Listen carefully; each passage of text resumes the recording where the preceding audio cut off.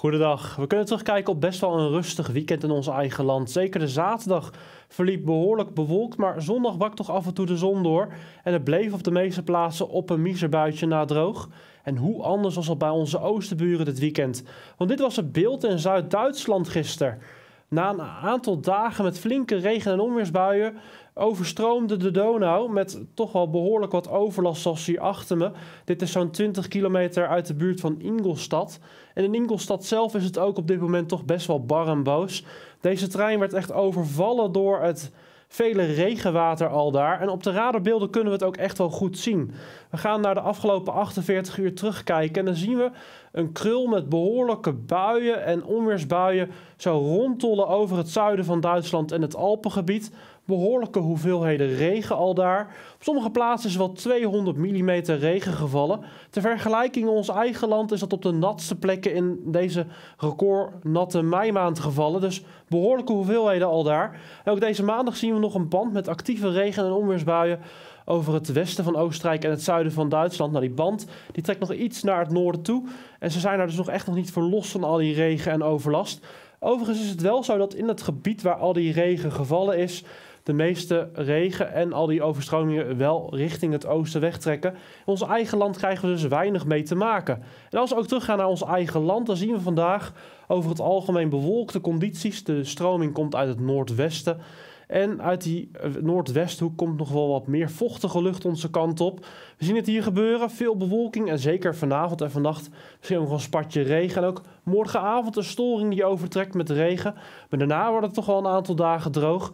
We liggen dan in relatief koele lucht met temperaturen onder de 20 graden, maar wel geregeld ruimte voor de zon en vrij droge condities. Hoe anders is het ook weer later deze week in het zuiden van Duitsland, waar uiteindelijk weer opnieuw regen- en onweersbuien het weerbeeld gaan bepalen. Ze liggen daar op een scheidingsvlak tussen warme en koelere lucht bij ons. En ik verwacht ook wel dat er later in de week opnieuw weer tot overlast gaat komen. Goed, terug naar ons eigen land. Ik zei het al, vandaag vrij rustige condities. Veel bewolking en de temperatuur die stijgt naar 17 of 18 graden. Wat wel aan, nog altijd aan de wat frisser kant is voor de tijd van het jaar. De zon die breekt zelfs uh, slechts sporadisch door in het midden en zuiden van het land. De meeste plaatsen blijven dus vrij bewolkt met niet al te veel wind. En vanavond wordt die bewolking geleidelijk aan iets dikker. Temperatuur die daalt maar moeizaam en uiteindelijk zien we minima zo rond de 11 of 12 graden.